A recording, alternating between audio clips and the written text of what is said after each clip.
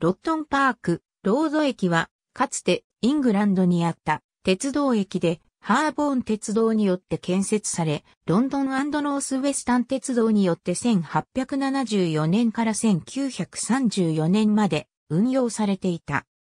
この駅の利用券は、バーミンガムのエジバストン地域の一部で、駅はロットンパークロードとジロットロードの交差点の近くに位置していた。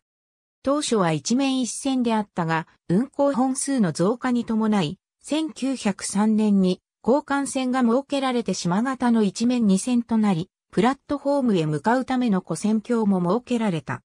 しかし、20世紀初頭には、道路交通の発達、特にバーミンガムコーポレーショントラムウェイズによる路面電車網の発達により、利用する乗客数は減少した。1934年にハーボーン鉄道は旅客営業を廃止したため駅も廃止された。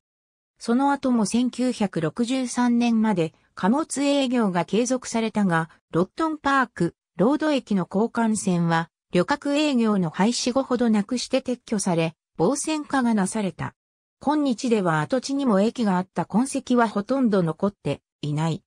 駅を通過していた線路時期の後は、ハーボーン自然歩道の一部となっている。ありがとうございます。